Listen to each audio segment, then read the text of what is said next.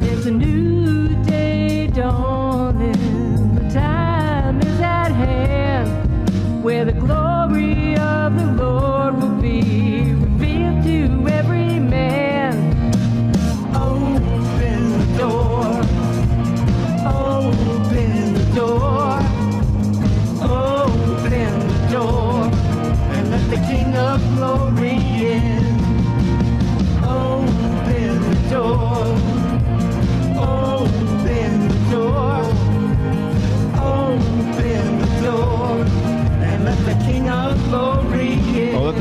in.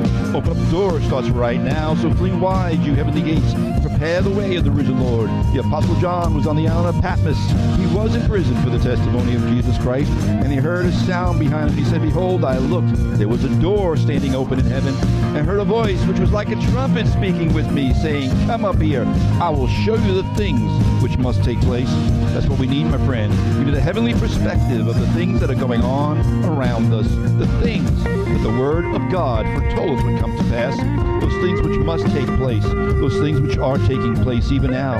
That is what this broadcast is all about, discussing the issues of the day, discerning the times in which we live from a biblical perspective and worldview. Good day, everybody. Andy White here. What you are about to hear is the fusion of heart, mind, and soul. And I want to welcome everybody from all across the fruited plain and all around the spherical globe. Thanks for tuning in to this week's brand new edition of Open Up the Doors. And I am streaming live over on my uh, Facebook Open Up the Doors page. If you'd like to join in the conversation over there, go on over to facebook.com slash faithfm91.7. That is the Open Up the Doors page. If you've never liked the page, please like the page and uh, just be you know part of the all that we're doing with this Open Up the Doors ministry and you'll be informed as well.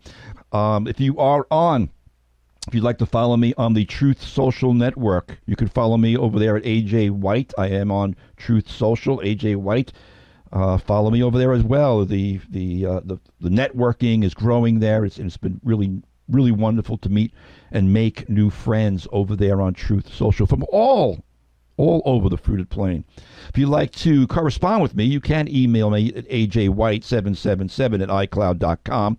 It's ajwhite777 at icloud.com if you would like to shoot me a private email and, and uh, just, you know, for whatever reason, ask me a question or uh, send me your thoughts on the broadcasts. It's all good. It's all good. If you are outside of the Faith FM broadcast area, the best way to listen to Faith FM is to download the free Faith FM app. We have the app both for the Android platforms and, of course, the Apple platforms. Just look up Faith FM in Sag Harbor, and you'll be able to listen to great Christian programming 24 7. If you'd like to be part of the broadcast today, I plan on going to the phones. If you'd like to call in, Write down the phone number right now. The phone number is 631 725 2069. 631 725 2069. And I will take your calls in the second hour. But all right, I got through my preliminaries right there and I got to hop on it because seriously, I know I say this every week, but I'm really serious this week. We have got a lot to talk about. In fact, there is so much going on right now. There are so many things exploding on the scene right now. I, I, I really almost don't know where to begin, brothers and sisters. I'm perplexed on what to focus on. I mean, should I begin with the long overdue impeachment inquiry of Joe Biden? I mean, or should I begin with how New Mexico's governor thinks she can suspend the U.S. Constitution and ban Second Amendment rights based on her own exaggerated sense of her self importance and authority? I don't know. Maybe I should begin with the complete meltdown on our southern borders that's going on right now, both on our southern border and, and also now on our northern border as well. There was a report the other day how how uh, we've got a lot of illegal aliens flooding in over the northern border between Canada and the U.S. now. But I don't know where to begin. Should I talk about should I talk about the renewed and doubled down censorship and the uh, the attack on free speech that's being implemented right now, even as I speak? Should I talk about how American companies are now going to have to submit? Have you heard about this? You will. American companies, big tech companies, are going to have to submit to Europe to the European Union's new censorship law.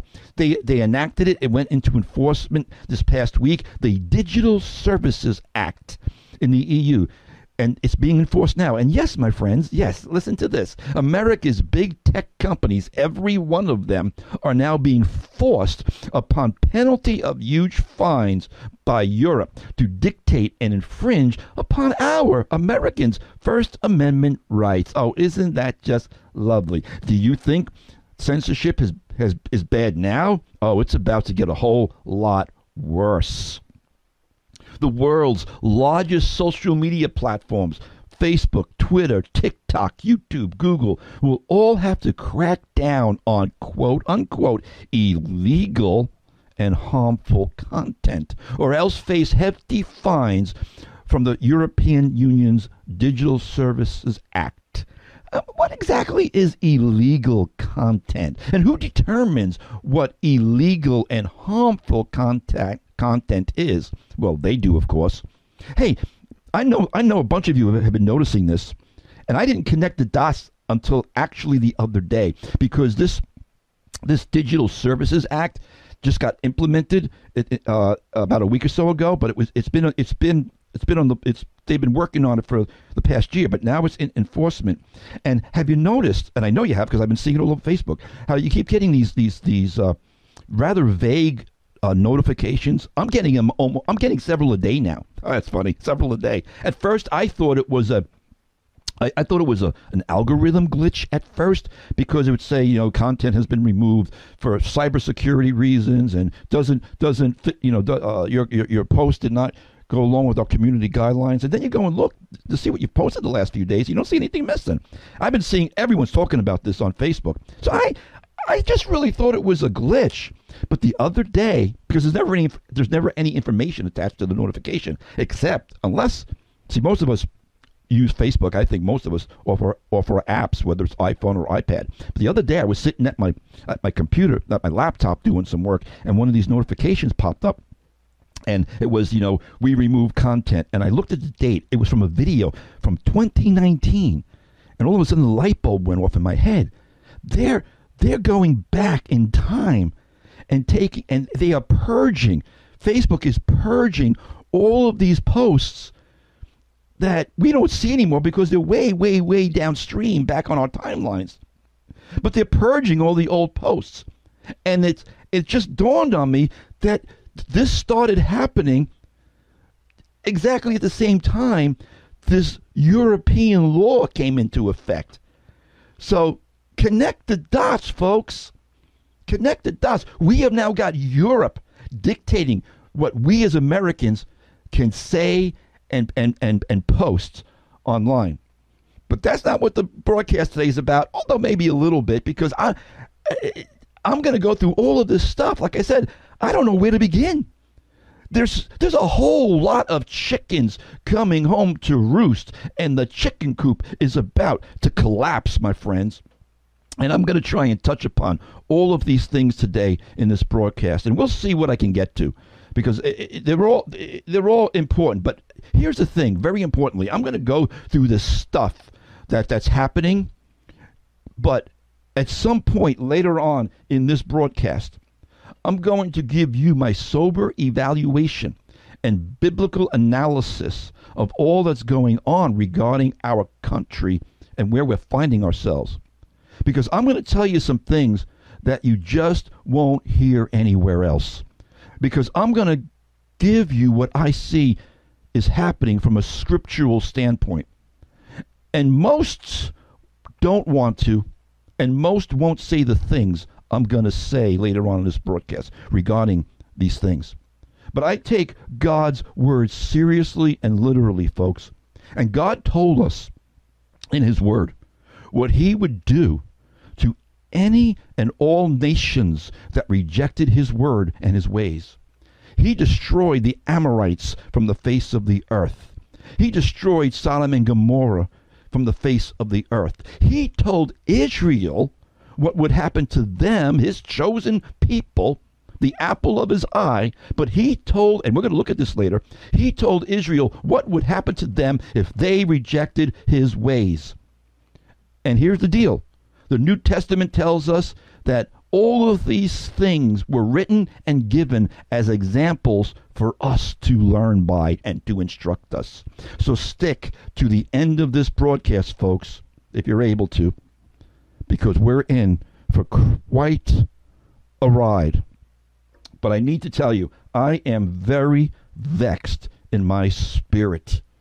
And as I look around at the quickly deteriorating condition of our nation, I keep asking myself, how long, how long, how long, how long before America finally collapses? How long before we experience a great national meltdown? How much more can this nation take and endure? Can America survive its own self destruction and implosion? About two weeks ago, Sarah Palin was on the Eric Bolling show on Newsmax. And she rhetorically asked Eric regarding both the left and uh, uh, uh regarding, what the left was doing and all the insane and truly destructive things that the Biden administration has been doing. She asked Bolling, and she asked it very rhetorically. She asked Eric, Do they want a civil war? And Sarah Palin was, she's not the only one asking the question. And to be clear, she wasn't advocating for one either, as she was falsely being accused of by the miscreant media after her appearance on Bolling's newscast. But let's be clear, folks. There are reasons for asking the question. Because the ones who are clearly fomenting for these things are those America hating Marxists on the left. Let me just take a, a little trip down memory lane to refresh your memories. Remember when Congresswoman Ayanna Pressley said there needs to be unrest in the streets? now I'm laughing. I'm laughing. Oh, I, I just got interrupted. I, I, interrupt this broadcast because I just got a news flash coming across my screen right now at this very moment. I got a notification from Facebook. We removed your content. we can't show this content that you shared on Facebook. See why? This is this is coming up on my laptop, so maybe maybe I can see why. What did they remove now? What did they remove? This is happening right now in real time. Um, no, they're not showing me what they removed. Your content goes against our community standards. I would love to see what the date is on this, but they're not showing that. The other day they did. Oh well. Oh well. Back back to our regularly sponsored broadcast. I'm laughing because, like, like folks, hello, yeah, yeah, what's this? This is what's going on. Uh, now we're, like I said, we thought we were censored before. Now we're going to get censored in real time. But let me let, let's let's go back. Let me let me let me re, let me retrace my steps a little bit here, because you know they're accusing us, conservatives and Christians and everyone basically who doesn't agree with them they're accusing us of being the fascists. They're accusing us of, of trying to foment civil unrest, when in fact, again, it's their MO to uh, accuse and blame you for the things they themselves are doing. But remember, let's take this little trip down memory lane to refresh our memories.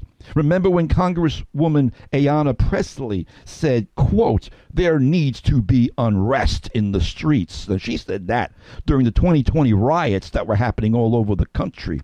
And remember when Kamala Harris said that, quote, the protesters should not let up as they were looting and burning down cities and towns across America.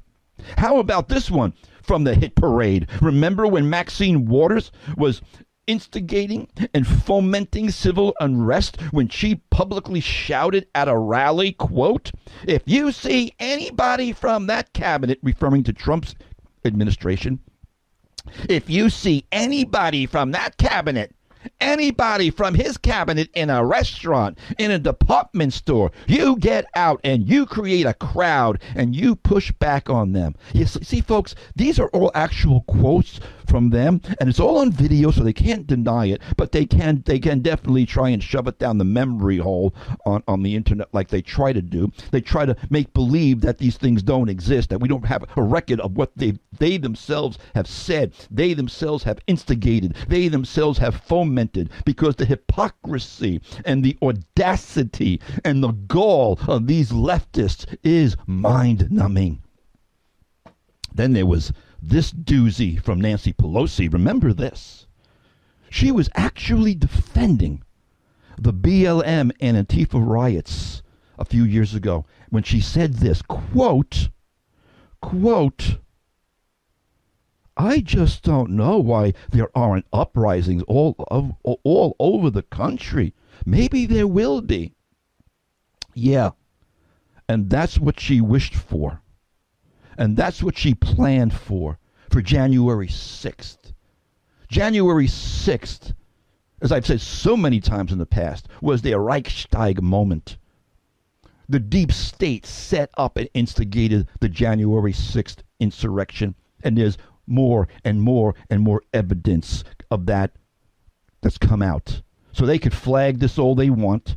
They could deny this all they want. They could have the, the, the, the miscreant tech companies, the malfeasance, censor this all they want, but we'll keep saying it. We'll keep exposing the truth, and we'll keep saying, no, they set it up. It was a setup what they're what they've deemed as the January 6th insurrection. That wasn't an insurrection, by the way, but rather it was a setup that entrapped.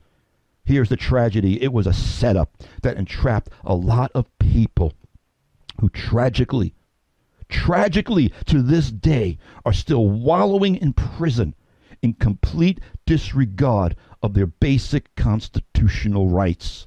Yes, my friends, we are no better than some despotic communist state when we have American citizens being held as political prisoners sitting in prisons in Washington, D.C. Average, everyday, normal men and women, and even grandmothers whose constitutional rights have been trampled underfoot by this corrupt, deep state malfeasance who truly do want they truly do want a civil war. This is what they want, folks. Make no mistake about it. They are biting at the bit for it because it will give them all the excuse they need to go full on totalitarian. I pray to God we don't give it to them. But sooner or later, a group out there is just going to, you know, uh, uh, this is what they're fomenting. And they will. And they are instigating for it. They will foment it and they will create it. How do I know that? How can I say that? Because this is what Marxist communists have done in every communist revolution for the last 150 years. Just the other day in Orange County, California, let me read this to you because this might have flown under your, under your radar. But this was the headline in, in, in the Fox News report. Communists demand end to Christian fascism at chaotic school board meeting over parental notification policy. That was the headline. Communists demand end to Christian fascism. The school board, uh, the school board in this uh, in this uh, in this California district, they were having a meeting to bring in new uh, uh, new regulations regarding the disclosure of students who come out as being transgender because a woman had and she won. She sued this she sued the school system because they transitioned uh, her daughter without her without her even knowing about it. So she sued them and she won $100000 and she had to bring her daughter back through all kinds of uh, you know, therapy and psychology and but anyway, so now California, the, the school districts like, okay, we can't be doing this anymore. We've got to, we've got to come up with some, some restrictions and some regulations. But the communists don't like that. So listen to this report out of Fox News. Chaos erupted at a Southern California District School Board meeting Thursday. That would have been one week ago today, when communist protesters clashed with parents. At the meeting, the Orange Unified School Board passed a parental notification policy similar to ones passed in five other districts across the state that would require staff to notify parents when their child identifies as a transgender. Before the deciding vote was cast, members of the this is it, they were at this meeting, members of the Revolutionary Communist Party disrupted the event, shouting down parents and supporters with a megaphone.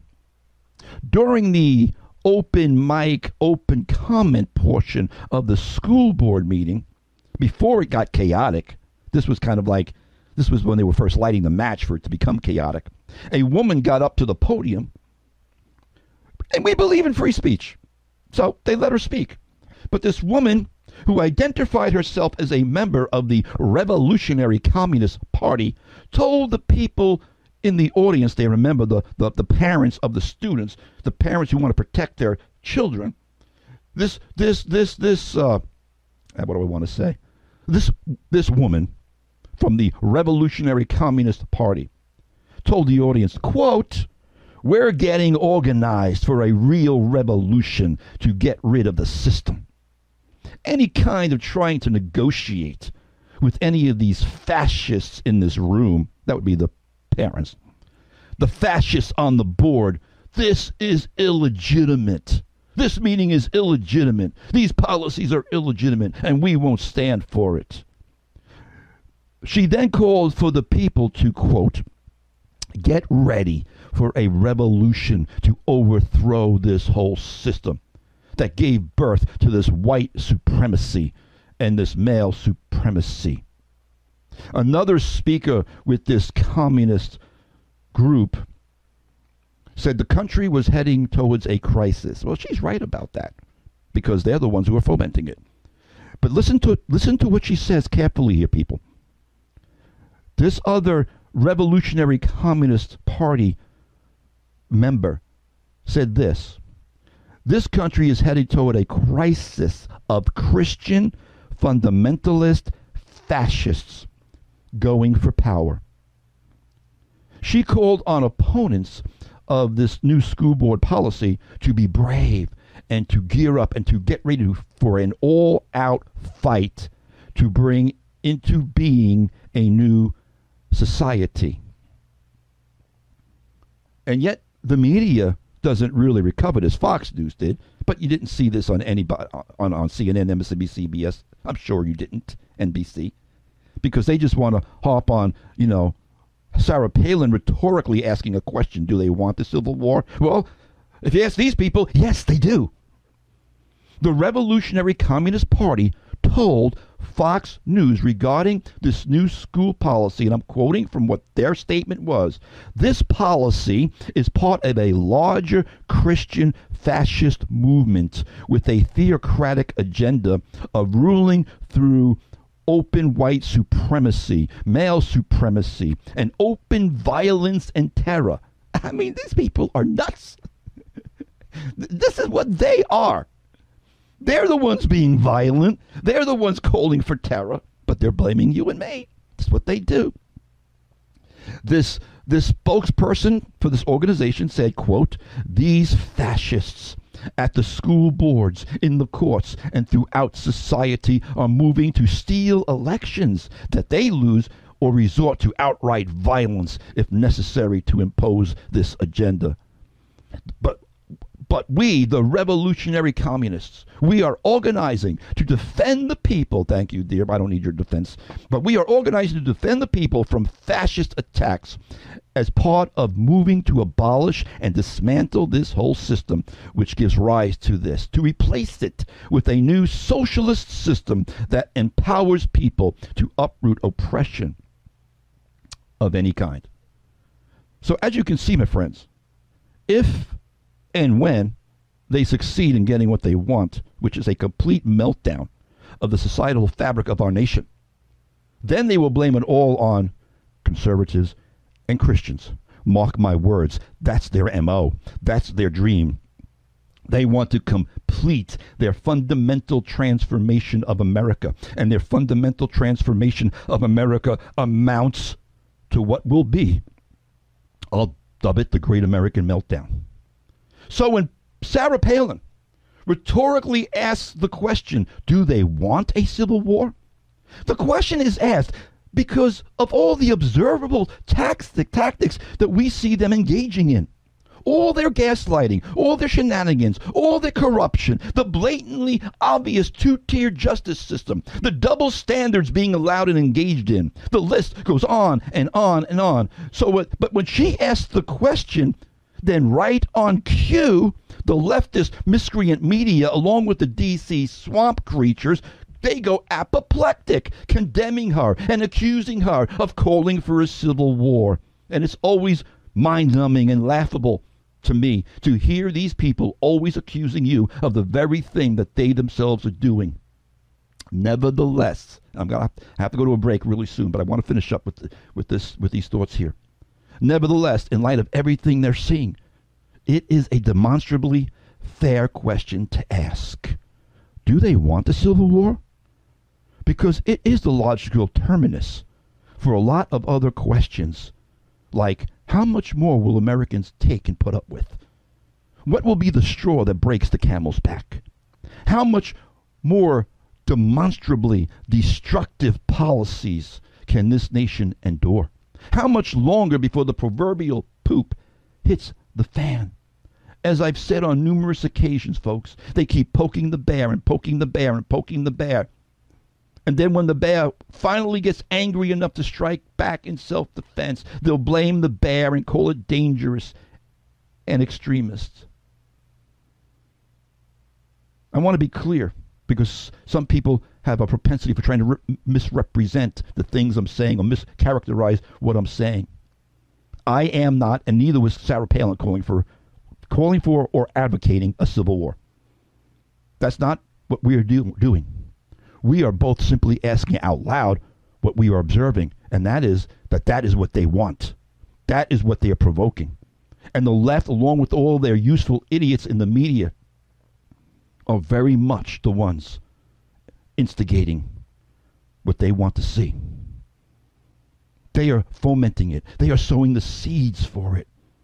And they would be utterly overjoyed and gleeful if, yes, a bunch of deplorable MAGA types, in their view, would lash out against their corrupt system. This is simply something that is observable. It's an analysis of their actions. Do they want a civil war? Yes, they do. And sadly and tragically, they may get one. But not because we're calling for one, but because at some point in time, enough people are going to be so sick fed up and disgusted with what's going on that the left just may get what it wants and what it's wishing for. And folks, I'm going to tell you, it won't be pretty and it won't be good for anybody. Back. Stick around. Just casting crowns, shadow of your wings.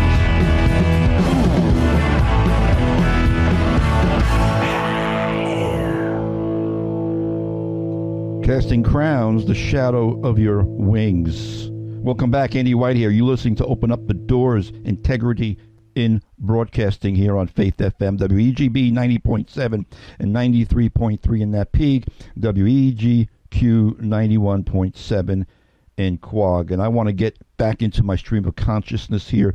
Like I said, I've got a lot, a lot, a lot on my plate here. I'm sure this is going to probably carry into the into the second hour in one form or another. And there's some things I really want to get to scripturally that I hope to get to in this first hour. But I want to build the case a little bit more before I get to that. Because in many ways, in many ways, we are already in a non kinetic civil war of sorts. Will it go kinetic? Uh, kinetic? I don't know. I don't know. I certainly hope not. But I will say this again, watching what they've been doing to this country for the last several years, one cannot escape the feeling that what they are doing they are doing on purpose. So, like I said, right now, a civil war of sorts is it's being waged in the form of lawfare. I don't know who came up with that term lawfare, but it's really it's really uh, apropos. We are fighting this civil war right now on the battlefield of lawfare. The court system is broken, it's corrupt, and justice is under attack. Lawfare. Again, it's, it's, it's what they're engaging in right now. With all of their lawless antics and corruption, with all of their unjust prosecutions, we have right now nonviolent, peaceful, God fearing pro lifers who are being sentenced to jail for protesting at abortion slaughterhouses. Pro lifers are being rounded up by our government in continuing waves of arrests. All the while, real criminals with violent and repetitive crime records are being let go and released back onto the streets of America with the result being soaring crime rates raging across America. I have I have a stack of stuff here just talking about the crime situation in cities all across of America. But we, we can see it happening. I don't have to get I don't have to get into the weeds with that. But crime is through the roof because of our broken and absurd and unjust legal system. It's become so corrupt and broken down. But here's where it gets more dangerous, even more dangerous. Not only does this corrupt regime, the the the the the the, the, the, Biden's DOJ with Merrick Garland, not only does this corrupt regime go after its political opponents with threats of prison time, they're also out to imprison their leading political opponent, Donald Trump. You, we, we see this going on four indictments, all bogus, all ridiculous. But they're engaging in lawfare to destroy the man, to destroy his following. And make no mistake about it. Make no mistake about what they want you to believe. It's not about Donald Trump. It's completely about their power and their hatred of what he represents. I don't care what your feelings are regarding Donald Trump one way or the other. It is unjust what they're doing to that man. It is corrupt. It is Stalinist. And every one of us, I don't care if you're for him or against him, you need to have the the the the uh, intellectual honesty to stand up and say this is wrong. Just yesterday, from Jay Sekulow, who's the the founder and the CEO, I guess you could say, of, of the American Center for Law and Justice. Jay Sekulow is a renowned constitutional lawyer who's who's uh, who's represented numerous numerous cases in front of the Supreme Court, and to the best of my lo- knowledge, he's never lost a case in front of the Supreme Court. I'm pretty sure he maybe won, but I don't think he's ever lost when he's rep- when he's gone before the Supreme Court. Jay is an incredible lawyer. But just yesterday, he, he sent out a newsletter. I'm on the mailing list as well as some other people I know. But he sent this out. This was the headline in his newsletter yesterday. Quote, the left is trying to ban President Trump from the ballot across the country, and we just filed a major lawsuit to stop it. Jay writes in his email, it is the most insidious manipulation of the Constitution I've ever seen. And remember, he's a constitutional expert and lawyer.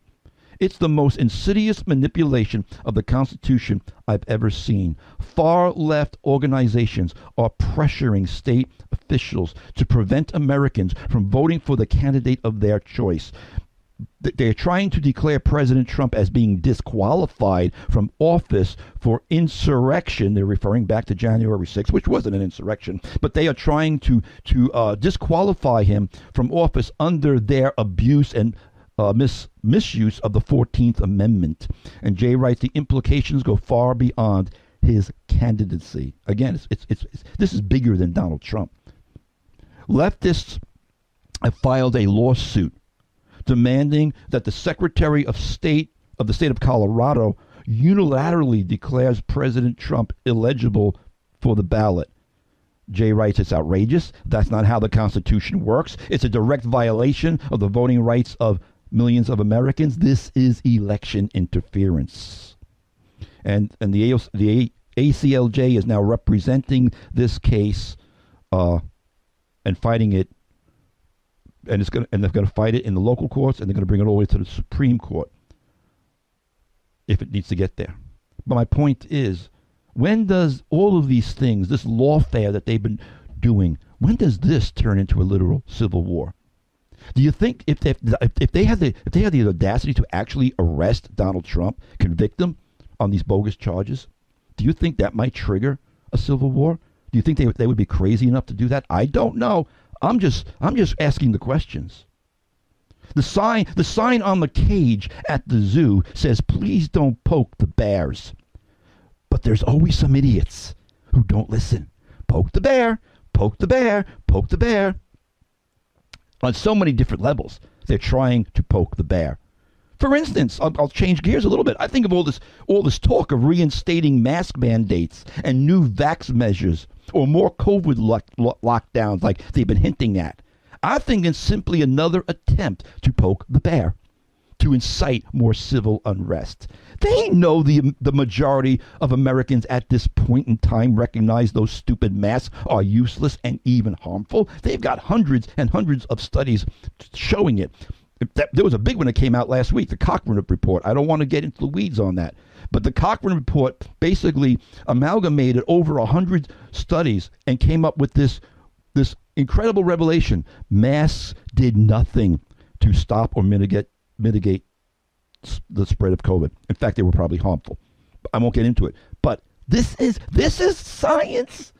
They say follow the science, but they don't follow the science. They don't follow the science when it comes to biology. They don't follow the science when it comes to virology. They don't follow the science when it comes to climatology.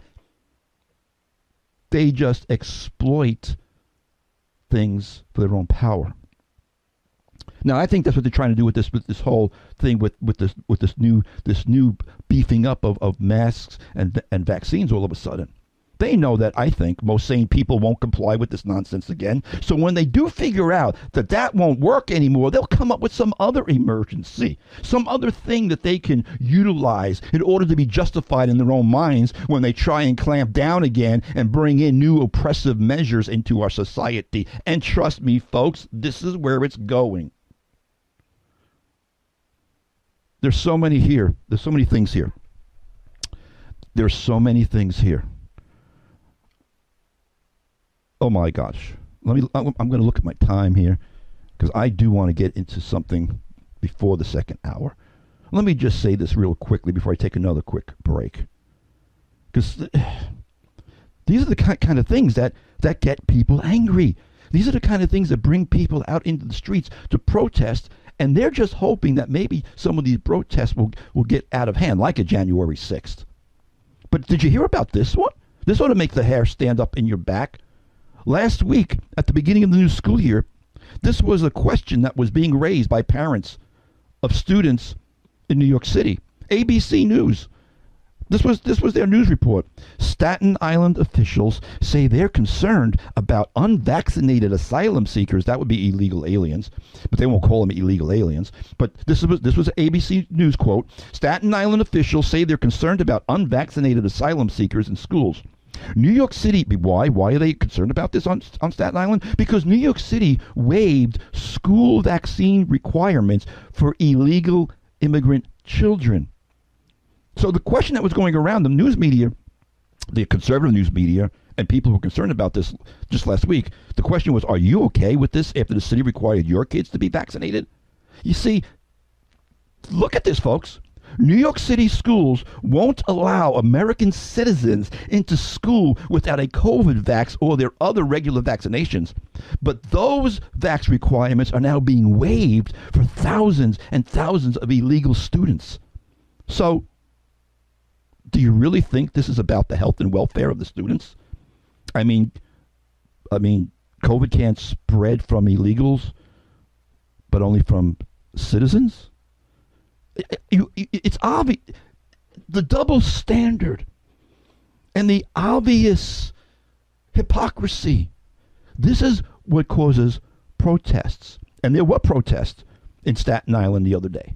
Staten Island Borough President Vito Fossella worries that this vax waiver could place the health of other children at risk. Now, of course, I've always kind of questioned the logic of that idea, but that's what he says. I, I don't want to digress. But Fossella last Saturday led a group in protest saying that this double standard is problematic. Yeah. And he said this, what is really obvious, what is common sense.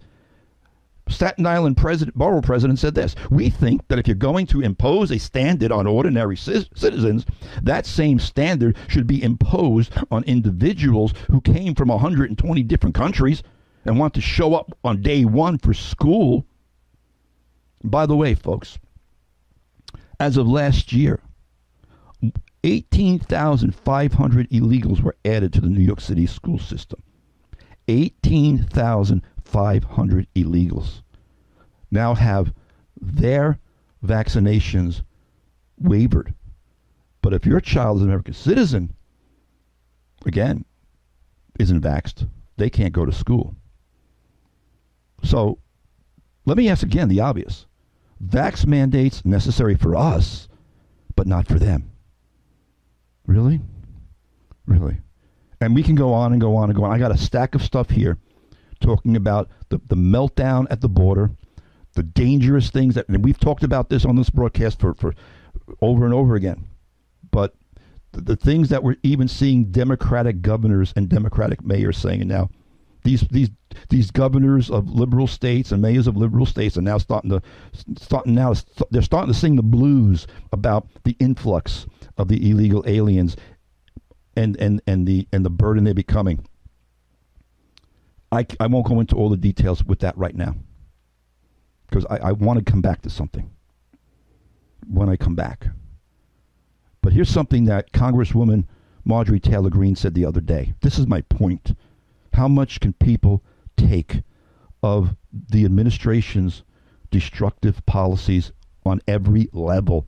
Whether you want to talk about the border, whether, whether you want to talk about the economy, whether you want to talk about lawfare, whether you want to talk about um, uh, oil production, but specifically regarding the, the, the danger that is now upon us because of our southern border. Marjorie Taylor Greene the other day said this. I'm just quoting what she said. I'm not agreeing with it, but I'm pointing it out because this is the direction of what is almost a logical conclusion. She said this if the Biden administration refuses to stop the invasion of cartel led human and drug trafficking into our country, states should consider seceding from the Union. This is a congressperson talking about civil war because that's what would happen. States should consider seceding from this from the Union. That that that's what happened in the Civil War. From Texas to New York City to every town in America, she wrote, we are drowning from Biden's traitorous America Last border policies. And she's right. Now, she's, she's right about that. I don't think states should secede, but I've talked about this before. It's been prophesied in the past by several that America would break up, but I won't touch on that right now. But here's what I'm going to say before I take a break, and I'm going to get into this a little bit more when I come back. Deuteronomy 28 is a chapter with the blessings and the cursings that God gave to the nation of Israel. And in Deuteronomy 28, verse 43, 44, this was one of the judgments that God said would happen to the nation. The alien who is among you shall rise higher and higher above you, and you shall come down lower and lower. He shall be the head, and you shall be the tail. Stick around, I'll be right back. Short break.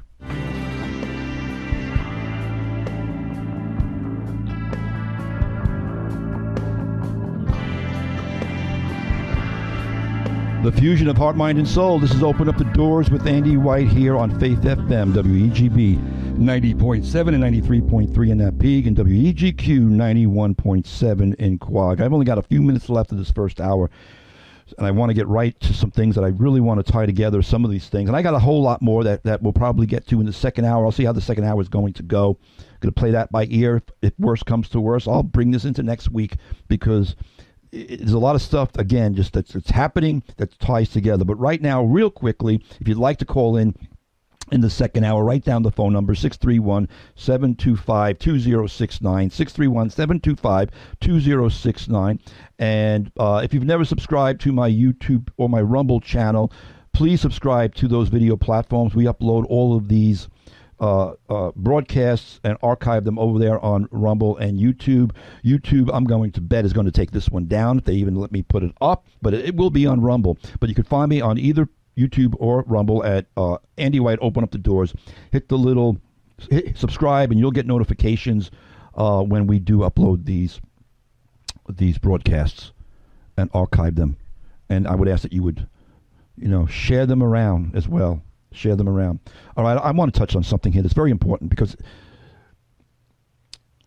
it's something I've talked about several times, numerous times over the last several years.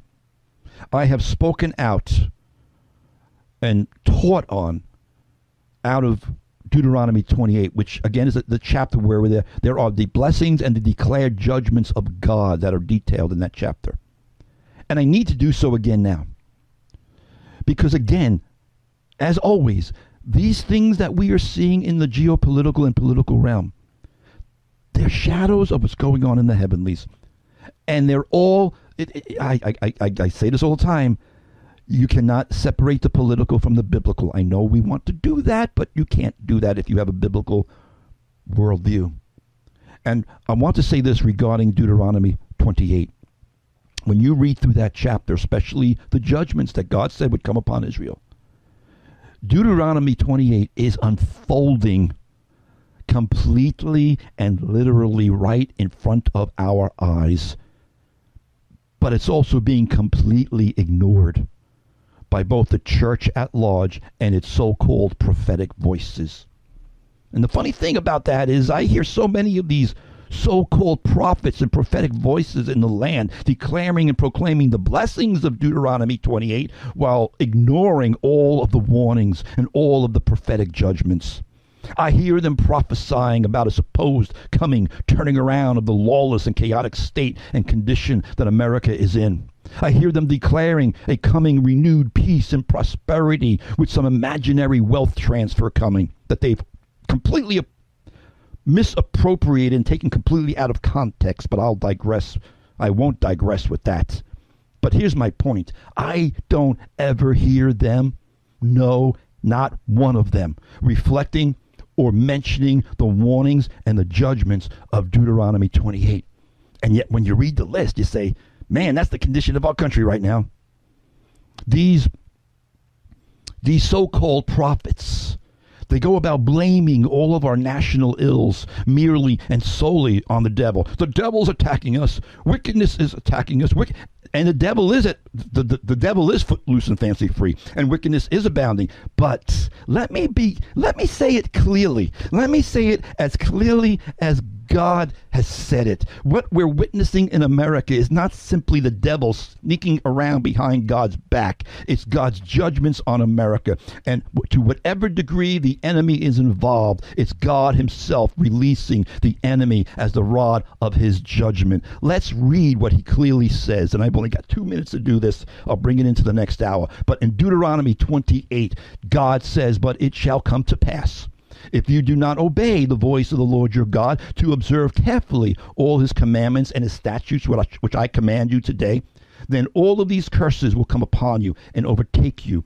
Cursed shall you be in the city, and cursed you shall be in the country. The Lord will send on you cursing. Who, the devil? No, the Lord will send on you cursing, confusion, and rebuke in all that you set your hand to do until you are destroyed and until you perish quickly because of the wickedness of your doings in which you have forsaken me. As my grandmother used to say, folks, let me tell you something. When you hear preachers and teachers say that the judgments of the Word of God were for national Israel, but not for us as a nation today, they need to be reminded that Israel was called and given as a paradigm of how God deals with all the nations of the earth. Throughout Isaiah, God calls Israel his witnesses to the nations. In Ezekiel, he says, I will set my glory among the nations. All the nations shall see my judgments, which I have executed. And I can go on, and I can go on, and I can go on and I probably will when we get into the second hour. I got a lot here. But, folks, America is reaching critical mass. Internally, our nation is sick from the sole of the foot even to its head. There is no soundness in it. And externally, our enemies are circling up above like vultures waiting to pounce and like sharks circling for the kill. And just as the Lord God Almighty told his chosen people, Israel, in Deuteronomy 28, the Lord will cause you to be defeated before your enemies. You shall go out one way against them and flee seven ways before them. Pictures of Afghanistan, anyone? You shall become troublesome to all the kingdoms of the earth, and your carcasses shall be food for the birds of the air and for the beasts of the field. He said that to his people. I'm sorry to say it, but this is the situation that we find ourselves in. So you might say, Brother Andy, what should we do? How, how do we deal with these things? Remain steadfast and immovable in the faith. Be constant in prayer, beloved. Be in the secret place. Soak yourself. Soak yourselves in Psalm 27, Psalm 37. Soak yourselves in Psalm 91. As I talked about a few weeks ago, strengthen yourself in the Lord. We're not to fear these things, we are to overcome these things. That's the point. If you'd like to call in, 631-725-2069 and throw some fuel on the fire, if you want to pour some gasoline on my fire, call in 631-725-2069. Be part of the conversation, be part of the discussion.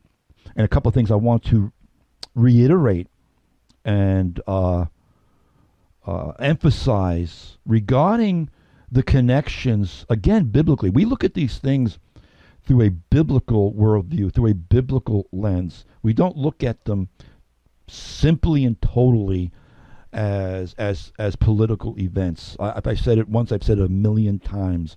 The political is nothing other than the the, the shadow uh, and and the, the the temporal reality of the really the eternal reality, the war in the heavenlies.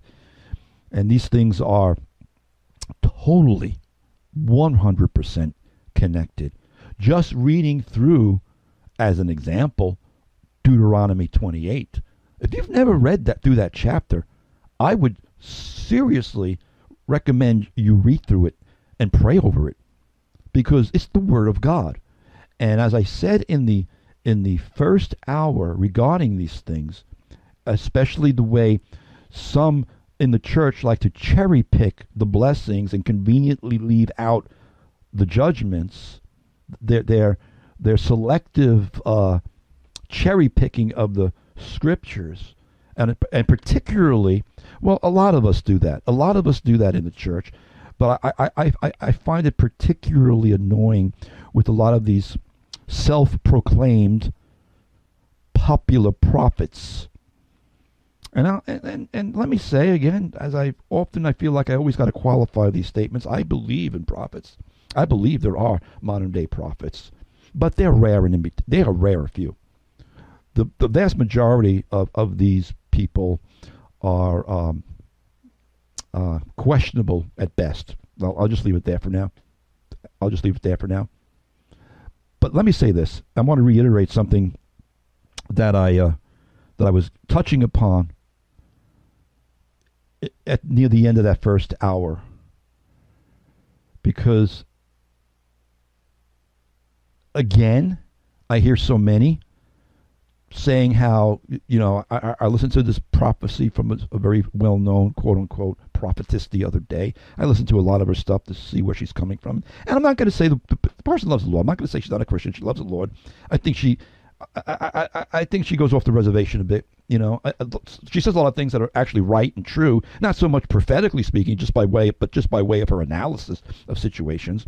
But then when she starts bringing in a lot of this quote unquote uh, dominionism and wealth transference stuff, and again taking scriptures out of context. She's this particular person is constantly taking what are clearly millennial blessings. Yeah, there's going to be a, wor- a wealth transference when Jesus comes back. Yes, there is going to be a restoration of all things when Jesus comes back. She, uh, she was she was given this prophecy the, the other day about saying how Jesus won't come back until the restoration of all things, uh, mis mis uh, uh, mischaracterizing the, the, the verse in Acts where it says that that the heaven must receive Jesus until the restoration of all things, and then He will send forth the Son. But but uh, the Greek grammar there is saying that the until the restoration of all things. In other words, until the restoration of all things isn't going to happen until Jesus comes back. Yet she was putting the, the, the, the, the horse before the cart. But I digress a little bit. My point is this is that they always love to to focus on blessings and peace and prosperity. And again, trying to give some people a little bit of grace and a little bit of, of the benefit of the doubt. I know they're trying to encourage the saints not to fear. I understand that. But you can't encourage people not to fear by promising them things that aren't true. That leads to hope deferred. That leads to when they see that when they see the things that you said aren't coming to pass, that leads to despair. And that's the danger of, uh, of a lot of these, what I call pillow, well, I shouldn't say I call, David Wilkerson years ago used to call them pillow prophets. The popular pillow prophets. You know, they want you to just lay down and go to sleep and feel comfortable on their pillows because, you know, everything's peace and prosperity, when in fact, God is saying himself, I'm sending the judgments. I'm doing it. Stop blaming the devil. Read through Deuteronomy 28. There is a whole laundry list there. There is a whole litany of things there that God says he is going to do to his faithless nation. And again, let me go back throughout. I, I want to repeat something I said in the first hour just to tie it all back together. Throughout Isaiah, really through all the prophets, God has always called Israel his witnesses to the nations.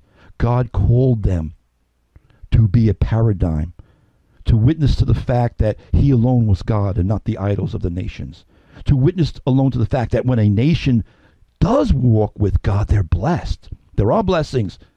There are blessings in Deuteronomy 28. If you walk in my ways, then you shall be blessed in the city. You shall be blessed in the country. The, the, the you shall uh, produce.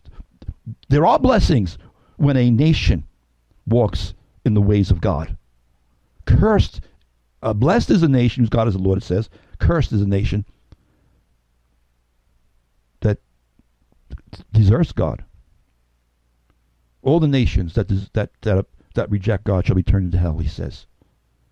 He says in Ezekiel, I will set my glory among the nations. All the nations shall see my judgment, which I have executed. They shall see my hand, which I have laid on them. The Gentiles shall know that the house of Israel, see, because they're the, they're the witnesses, they were the people of God. They were the ones that God, that they, they were the favorite of God. Everyone knew that. The Gentiles shall know that the house of Israel, what?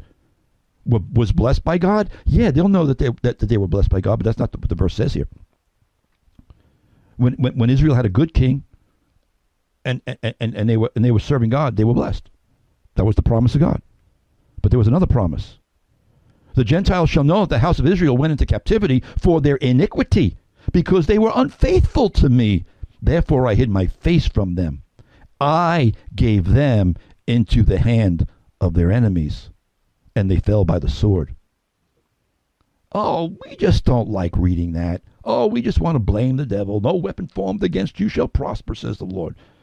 Well, that's true in, a, in another context. When, you, when you're walking with God, the Bible says when a man's ways pleases the Lord, he makes even his enemies to be at peace with him. But in the context of these things, we are talking about nations, not just individuals.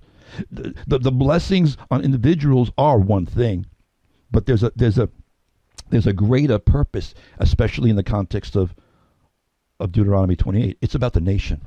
It's about how they are as, you know, innocent people often reap the consequences of their corrupt government. We can read about that. We know about that. We've seen it in biblical history. Jeremiah was given a vision of two baskets of figs good figs and rotten, putrefying figs. And God told Jeremiah that the good figs, the good figs were the ones that were going to be carried off into Babylon. But why were they going to be carried off into Babylon? Because God was going to destroy Israel. Well, actually, at that point, Israel was already the northern kingdom was already destroyed by the by the Assyrians, by Syria. But now God was going to destroy Judah and Jerusalem. And the rotten figs were going to be slain in the streets. God was going to preserve his remnant. That was the bottom line with that. God was going to preserve his remnant. Now, I'm saying all that to say this because we got to look at the Word of God in its totality. And so many of these modern day pillow prophets say that those things have nothing to do with the church, it only had to do with Israel. But then why do they just take the blessings? How convenient. They always take the blessings and disregard the curses. Again, they think it's a buffet table where they can pick and choose what they want. The Word of God is on a buffet table where you can pick and choose what you want, what you can take what you like and leave what you don't like. No, that's not that's not how we are to approach the Word of God. But to further nail this thought down, Paul writes in Romans 15, he's very explicit. For whatever things were written before, like Deuteronomy 28, for whatever things were written before were written for our learning. Learn something from this, folks. What things were written before Paul? Well, Deuteronomy 28, the prophets, the Psalms, the prophecies, all those things, because that's all the early church had. They were still they were still writing New Testament. For whatever things were written before were written for our learning. Learn the principles. Learn how God deals with a backslidden people, a backslidden nation, a godless nation that turns to uh, to to all the abominations. He told them if they he told Israel if they engage in the abominations of the Amorites and the Canaanites, uh, he warned them he, he, he, warned them, do not engage in their practices, for all of these things that these nations practice are an abomination to me. Things like, oh, yeah, oh, yeah, right, homosexuality and transgenderism, things like that, things like idolatry, things like sorcery, things like seeking after mediums. We can go through the list, folks. Oh, that's the law, Brother Andy. All these things were written before, were written for our learning. They're, they're, they're God's principles and precepts that we that that that never that never go away because God doesn't change. For whatever things were written before were written for our learning. Then he, Paul doubles down on that in 1 Corinthians chapter 10. Now all these things happen to them as examples. You mean like you mean like the enemies of Israel coming in and, and destroying the people of God, the nation of God? The nation that God said was the apple of his eye, the nation that God said he loved. God allowed, God warned that he would send the enemies in to destroy them. Now, all these things happened to them as examples, Paul writes, and they were written for our instruction, upon whom the ends of the ages have come. So I challenge anybody to tell me that I'm taking Scripture out of context. No, I take the Scripture in its entire context, period. I take the whole counsel of God seriously and soberly. Israel was and still is, nationally speaking, God's witnesses to the nations of how he deals with nations.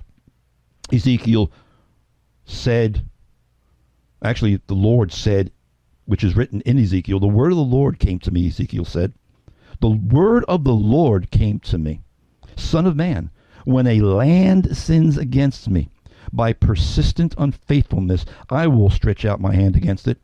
He didn't say just Israel there. He didn't say when Israel sins against me, but this doesn't pertain to the other countries. This doesn't be, pertain to the other nations. I'm not interested in the other nations. You need to read the prophets if you think that. because it's wrong thinking. The word of the Lord came to me saying, Son of man, when a land sins against me by persistent unfaithfulness, I will stretch my hand against it. I will cut off its supply of bread, send famine on it, and cut off man and beast from it. And even if these three men, Noah, Daniel, and Job, were in it, they would deliver only themselves by their righteousness. In Ezekiel 14. And further, further down that chapter, he talks about the remnant that he that he does preserve. So I don't want to be misunderstood here. God always preserves a remnant. But the nation is destroyed. The nation is brought down to nothing. So folks, let me tell you something here. And I'm going to get into some of the other the other news stories as as we progress. Or you can call in 631-725-2069. I'll take your phone calls. But let me tell you something, wrapping up this thought right now.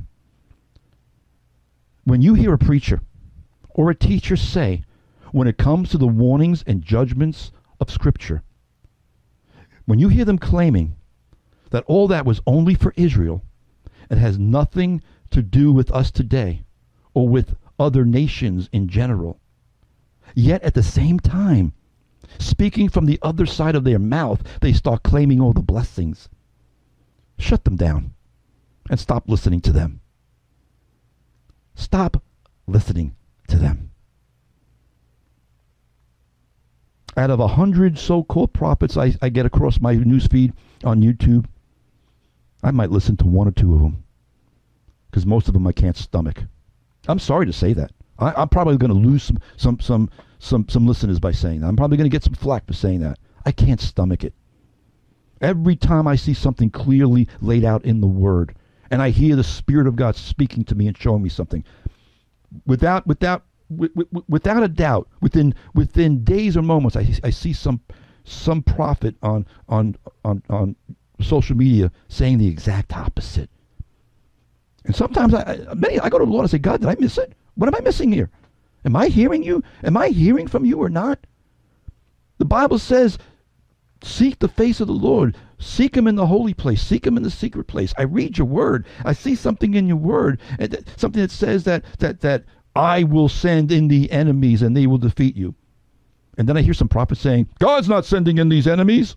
God's going to stop these enemies. No weapon formed against you shall prosper. And they t- and then they start just cherry picking scripture out of context. I'm just being, uh, brothers and sisters, I am laying this out as truthfully as I know how. Again, because I'm a full gospel guy and I believe in prophets and I believe in prophecy and I believe in words of knowledge and words of wisdom. But just like it was in the days of Micaiah, when when when when when when, when Jehoshaphat and when I believe it was uh, Ahab sent for the prophets whether Ahab should go out to battle or not, there was only one guy out of 400 that told them the truth. I know I've probably said this many times. I've gone through this. I've gone through this soapbox many times. But I'm going to keep hammering it away. I'm just going to keep hammering it away because I see it every single day on, on social media, whether it's Facebook, whether it's Truth Social. All these, all these, these flowery, fluffy, uh, candy cotton prophetic words going around, and everyone jumping through hoops. And in the meantime, I'm looking around. I'm saying, what? What? Do they not and now somebody might say, well, brother, don't look around because, you know, we got to walk by faith, not by sight. But the thing is, the scriptures they're using, they're taking out of context. Again, there will be a restoration. I'm no, I know I'm repeating myself, but I want to make the point. There will be a restoration of all things when, when Jesus comes back. There will be there will be a wealth transfer when Jesus comes back. Yeah, millennial blessings the, the lamb shall lie down, the, the lion shall lay down with the lamb, and, and, and I'll make all your enemies be at peace with you, and all the nations shall come up to Jerusalem, and, and, and, and, and Judah and Israel, and, and the mount of the Lord shall be great and glorious in that day. That ain't happening until Jesus comes back. So stop saying that we're going to do it now, and stop saying God's going to do it now, because there's a whole heck of a lot of stuff that's got to go down according to the scriptures. That's got to come first. I talked a couple of weeks about a couple of weeks ago about about the the the logistics of the prophetic scriptures. And you just can't be taking a scripture out of context and saying, "Yes, I'm, I'm believing for this right now." No, something else has to happen first.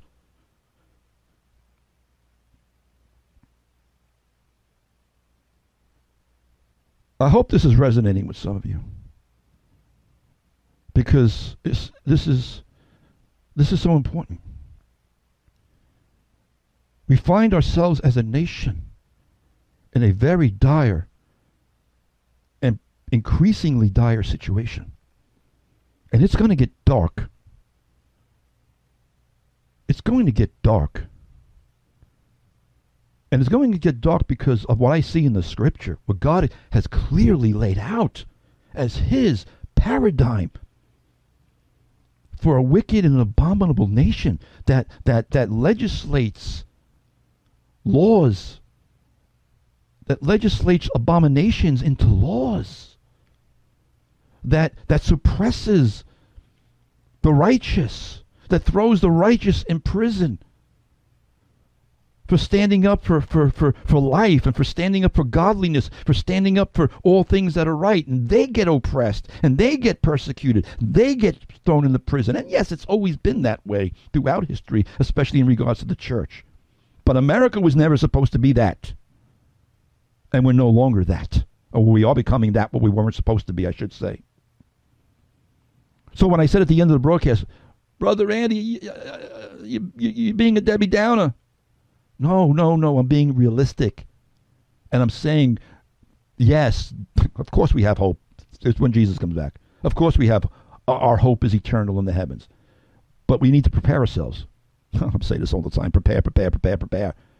Be, be soaked in the scriptures. Again, Psalm 27, Psalm 37, Psalm 91. I just keep saying them because those are my top three go-to go-to psalms. But we got 150 of them to choose from. Go to your favorite Psalms too. Psalm 34, you know, Psalm 23, whatever.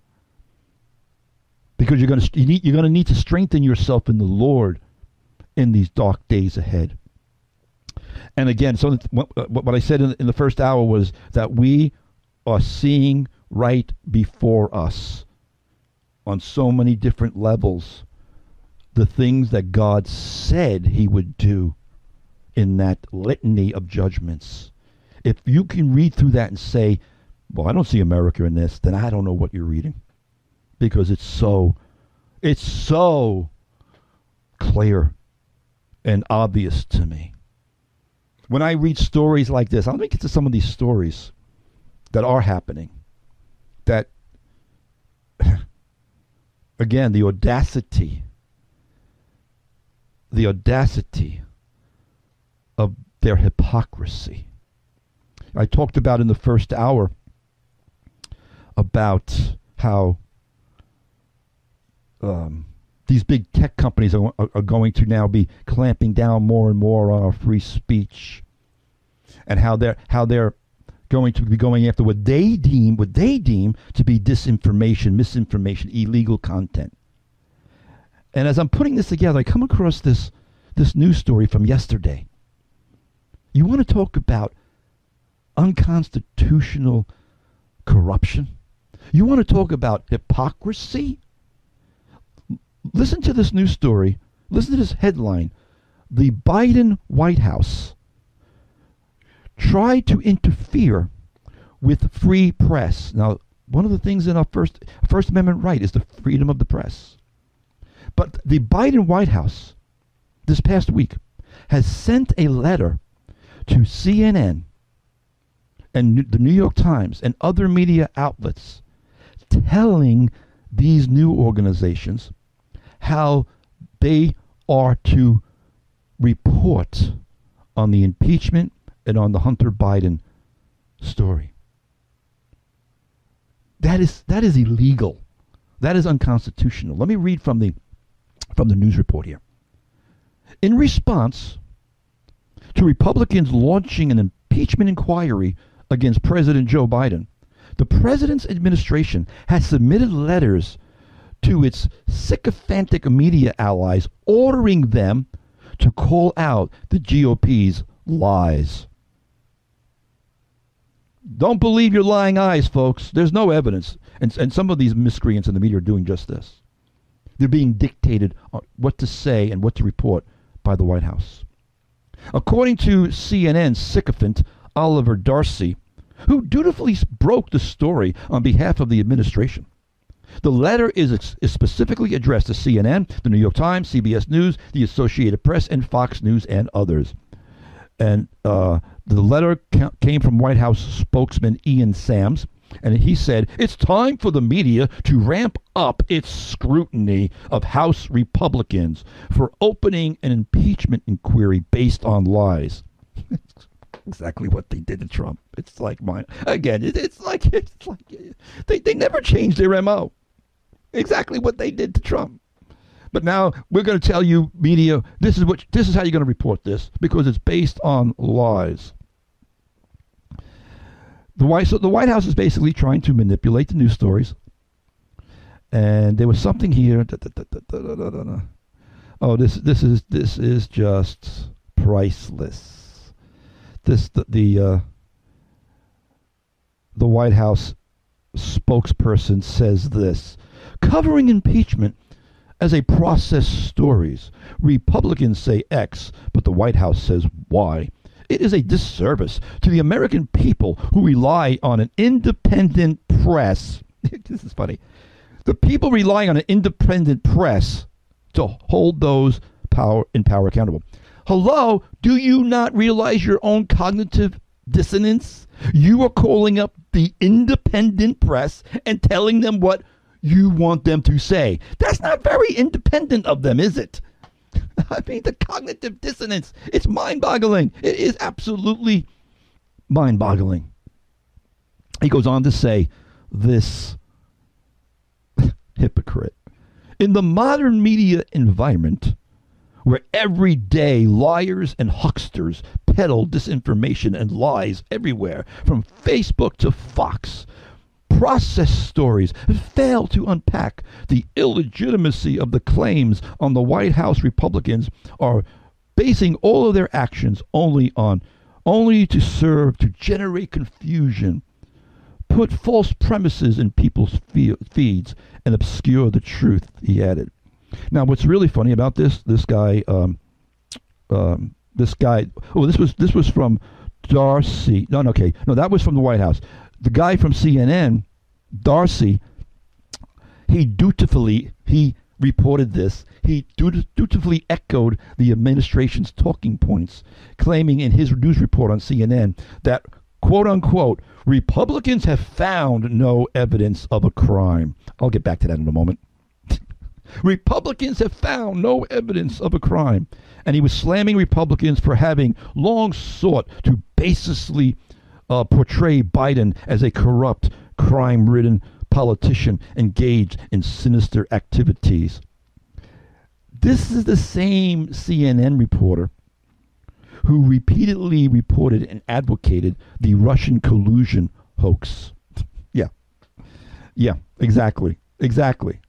Okay, but this guy goes on to say there and and this has been echoed a, a lot in the in the miscreant lamestream media that there is no evidence uh, to impeach Joe Biden. There's absolutely no evidence. Well, outside of the bank records that don't lie, outside of the bank records, outside of the suspicious activity reports that these banks, the banks have to submit suspicious activity reports on people. There were hundreds of them. Most people might never get one in their whole life. You and I would probably never get one. Some some some companies might get like maybe two or three, and then they check it out and it, and it was legal. But there is there's something like I don't even remember what the number is, but it was it was it was hundreds of suspicious activity reports flagged on Hunter Biden's uh, bank records. But there's but there's but there's no evidence. The, there's outside of the bank records, outside of the suspicious activity reports, outside of the wire transfers, outside of the the private bank transactions, the L the LLCs. There, there's the, the Bidens has set up over 20 shell companies, 20 LLCs that don't do anything except launder money. But there's no evidence. But outside of the of, of the of the of the over 20 LLCs, outside of the texts and the emails that that they, that, that they have come across, not only on uh, Hunter Biden's laptop, but now other sources that have become whistleblowers, outside of the text, outside of the emails, outside of the WhatsApp messages, outside of the photos of Joe Biden with Hunter's business partners. I never discussed business with my son. Outside of the photos, outside of the voicemails to his son that they now have in part of their collection of, of we don't have any evidence. Um, outside of the voicemails, the two business partners, the whistleblowers who have come forward and said, well, Joe, Joe was the brand, Joe was the big guy. Outside of the two whistleblowers' testimony, outside of the recorded phone calls between Biden and Poroshenko, the Ukraine, the former Ukrainian uh, president, we, we, we, we've, we've seen this video a hundred thousand times.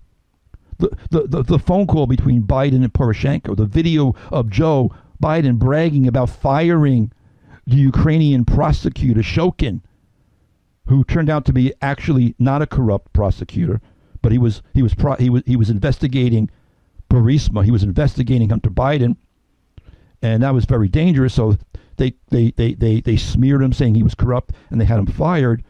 But that was upon penalty of if you want your billion dollars. Hey, hey, Poroshenko, if you want your billion dollars in aid from America, fire Shokin. That's that's pay to play. That's quid pro quo. That's illegal.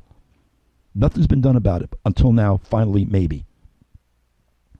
But, but, besides all of this mountain of evidence, these miscreants in the media keep parroting the White House line. There is no evidence. Just like there was no evidence. Just like there was no evidence of a stolen election. When in fact, there was a mountain of evidence. I'll be back with more, folks. It just gets more and more fun from here. Stick around.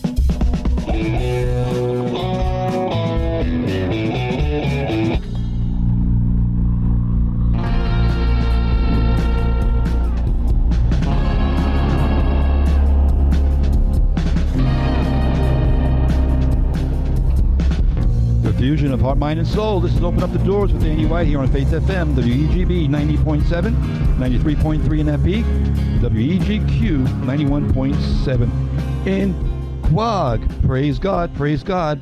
Well, we're going to, we got a, we, uh, during that uh, little bit of a musical break, we got a caller that called in. I want to get right to the phone. And hello, are you there? Yeah, yeah, I'm here, Andy. It's Bob Riverhead. How are you? I don't want to step on your airtime, really. You're doing a great show, but I do believe that they're trying to goad us into a physical civil war so that then they could use the military to clamp down on us and declare martial law. So we should Mhm. outsmart them and not play that game. oh, yeah, I Uh, I also want to remind people that digital uh, dollars are coming, and they're going to try to clamp down on that.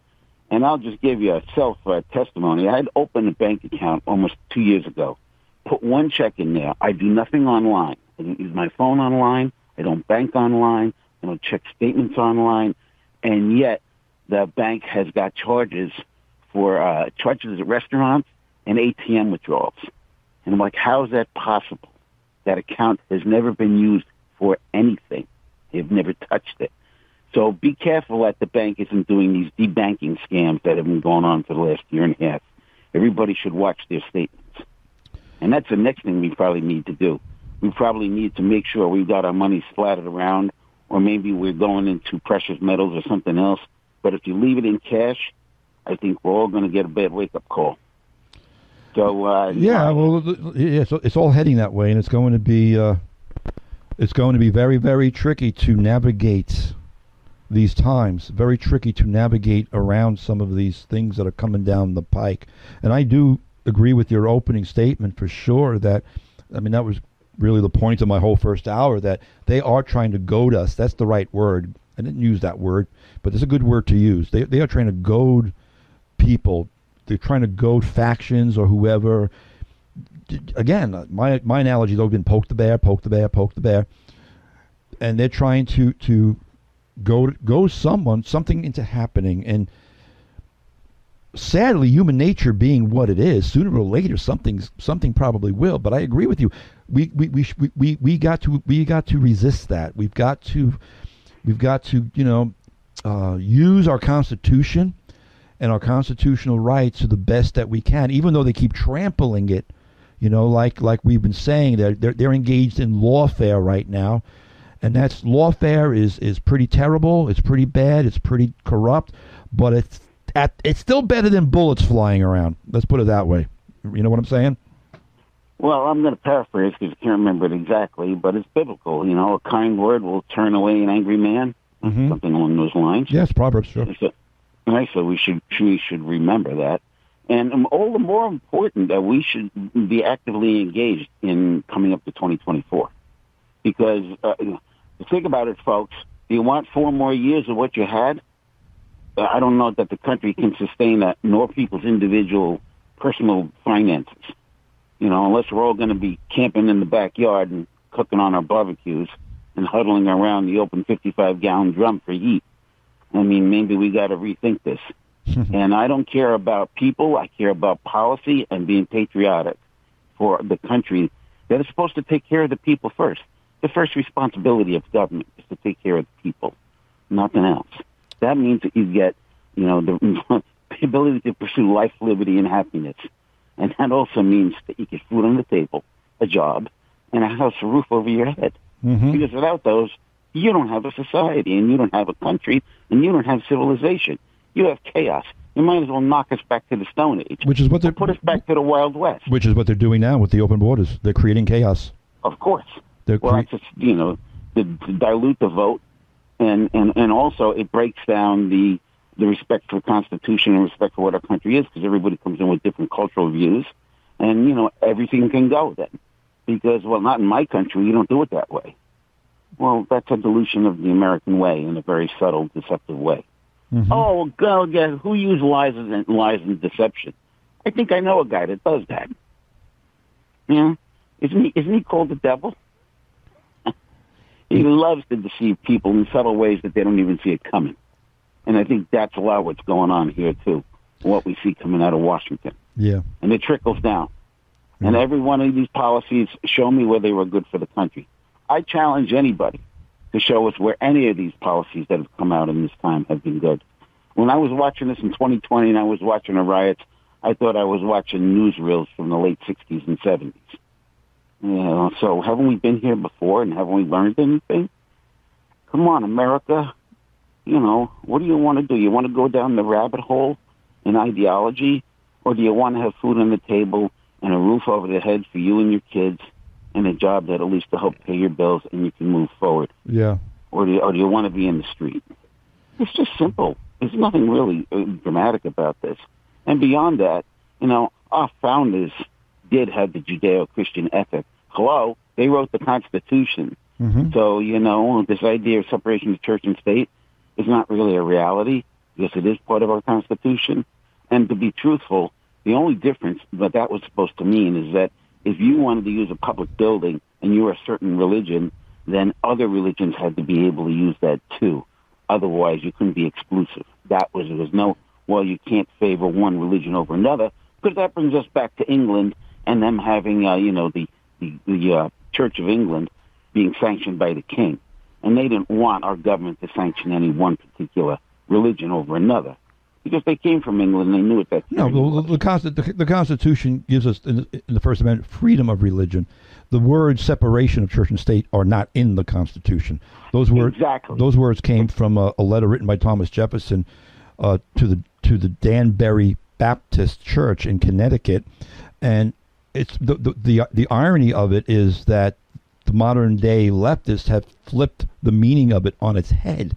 The Danbury Baptists wrote to to uh, Jefferson to complain that the state of Connecticut, I believe it was Connecticut, maybe it was Massachusetts, but I think it was Connecticut, um, Danbury, Connecticut. Yeah, they they wrote to Jefferson saying that the state was trying to impose restrictions on them, and Jefferson wrote back and said, "No, don't worry about that because they can't impose restrictions on you because the Constitution puts up this wall of separation between church and state. In other words, the state has no authority to get involved with what you're doing. They have flipped that completely around to make it sound like we're not allowed to engage in public expressions of faith. They've, they've corrupted it. They've absolutely corrupted it. But here's the thing to rewind the tape a little bit about them goading us. And obviously, as Christians, we need to be very, very, very, very careful of of, of fomenting that that uh, attitude and that spirit as well. Um, having well, I don't want to. Maybe I should go there right now. But but here's the thing I want to say right now. Unfortunately, not everybody out there is a Christian. We're looking at these things. We're, we're, we're praying for patience. We're, we want to be good and upstanding uh, citizens. We want to do things the right way, constitutionally, lawfully, righteously. Unfortunately, there are a lot of people out there who are America First patriots, but they're not Christians, and they won't have. Uh, and some, a lot of them are former military, and they don't have the kind of um, necessarily the kind of restraint and patience that we as a church would exhibit. So you know they they might they could very well be goaded into doing something that will be that tripwire. That is the danger. But what will happen is because the left is constantly um, putting us all into the same. Uh, what what what did what did Hillary Clinton say? The same basket of deplorables.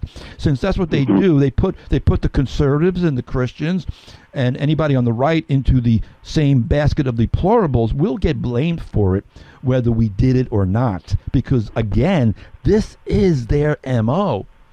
So to me, so go ahead. Go ahead. We're no longer deplorables. We're domestic terrorists now. And and as far as a little lesson in civics, you go listen to the five thousand year leap that was put out about I don't know five six years. Oh ago. yeah, yeah. Mm-hmm. Great thing to reference if you want to get a little quick education on the founding fathers and the was foundation that, is of that, the country. Uh, is that by Hayek or am I miss? miss? Can't remember. Oh, okay. But if you, I mean, if I'm sure if you look it up online, five thousand year leap, you'll find it. Who knows? Maybe it's even on YouTube.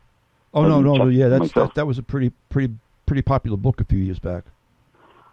Uh, and an excellent one uh, as a quick uh, reference to, uh, you know, kind of get back to uh, a starting point of, you know, how and why this country was founded mm-hmm. and the principles that was held dear when it was founded. Mm-hmm. I mean, we're so we're so off the mark now. And I agree with you 100%. You know, uh, whether you believe in the, the, the good book or whether you don't, it's pretty clear that the policies are not good policies for everyday life. And they're taking things to places where they, it's it's just nonsensical. They they make no well, sense at all. Exactly. Well, exactly. I mean, again, the things they're doing, they got to be doing on purpose because they're diabolical. They're not stupid, but they are diabolical. I mean, right at the right when when uh, Saudi Arabia and Russia are coming into a new agreement with oil production, and they're going to be raising oil prices on the same day that the same week, I should say, that that's being done. On Mo- I think it was Monday, which was 9/11. Joe Biden puts forth a executive order shutting down um, drilling and, and oil production in ANWR, Alaska which he's which he's done, which which he did. He, he put forth an executive order to shut down. ANWR was opened up by an act of Congress in 2017, and for him to shut it down by executive order is unconstitutional. So I don't know how it's going to stand. But the point is this: you shut you, you, shut down the Keystone pipeline on the on the first day you're in office. You shut down. You have depleted. This administration has depleted our petroleum, uh, our, our strategic petroleum reserves right now. I just saw this yesterday. Are at extremely dangerous low levels. We are not going to be able to get back to the level that our petroleum reserves were, were at under Bush. I'm, I'm sorry, under under Trump, I should say, for many many years. On top of that, when when when when Trump was filling up the oil reserves, they were practically giving oil away. Remember well, that? This, remember this when, goes when hand, this goes hand in hand with reducing the ability of the military to do their job. It goes hand in hand with a lot of things. Oh, of course it does. It, it's it's it's their globalist agenda to to bring America to its knees, and these are the people who are controlling our government right now. Well, that's Klaus Schwab, and I'll mention this in order to get the global agenda and to get a worldwide digital currency, you need to destroy the U.S. dollar. And that's another thing that's going on here because Every other currency right. is valued against the dollar. If you destroy the dollar, then you can bring in a new global digital currency as, Which- uh, as which the, they're working on doing. reference. which the Well, brick, exactly. which the BRICS So nations is, are looking and, to do. and this is, you know, uh, the, the coincidence is that there's the attacks are coming from many fronts. It's coming in the medical Exactly. field. It's coming in the financial field. Yep. It's coming on the social field. It's coming even on food production. Mhm. When you see, uh, you know, what's going on with China buying up land. As a matter of fact, I think a lot of that oil that does come out of Alaska is getting shipped to China.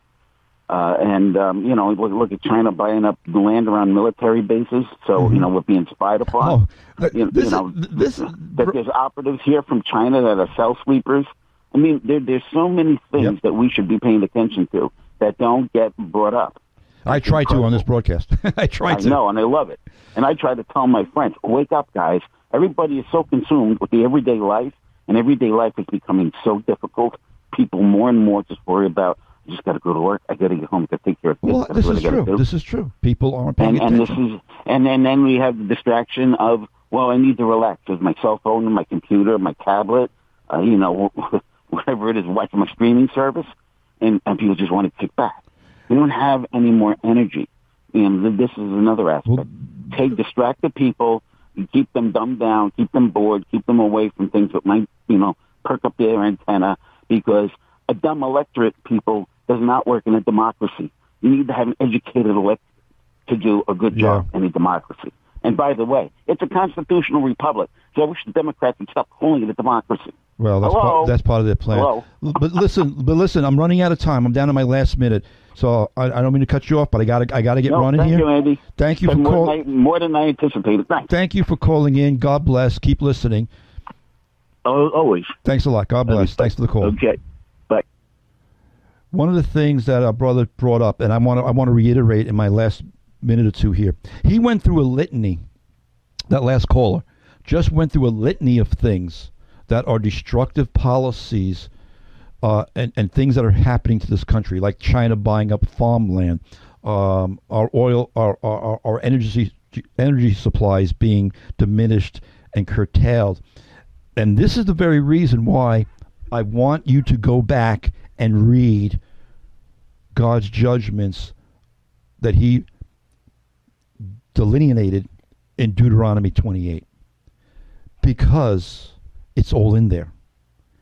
This is my point for this for, for this broadcast. The great American meltdown. It's all in there. And we need to prepare ourselves, as I've been saying for so long, mentally and physically and practically the best we can and be prepared and and and yes yes yes rejoicing in hope the hope that we have uh, in jesus christ but not to be living in some kind of false security and false uh, hiding your head in the sand kind of a thing i still have a stack a stack of, of, of news reports here that I could go through that, but I can't now. So maybe I will next week because I'm down to my last minute. But Homeland Security was just awarded $20 million to give to police, mental health networks, and universities, churches, and school districts to help identify Americans as potential extremists. I- I- I- $20 million was just given out by Homeland Security to hunt down terrorists, but not Al Qaeda, not BLM, not Antifa. like this brother just said, they're calling conservatives and Christians terrorists. And they're using the money to infiltrate churches and schools and, you know, the deplorable moms who go to who go to uh, you know, school board meetings. But having said that, I am out of time. Literally. Thanks for joining in, everybody. I got to fly here. We'll pick this up again next week. In the meantime, keep it right here on Faith FM. Be brave, be strong. Let all that you do be done in love. Stand firm and stand fast in the faith, folks. Jesus is Lord. Take care. God bless.